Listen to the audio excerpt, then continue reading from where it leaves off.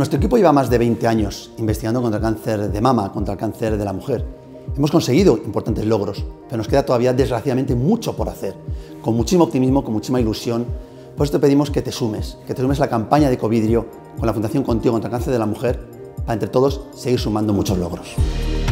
Investigar nos hace ser optimistas.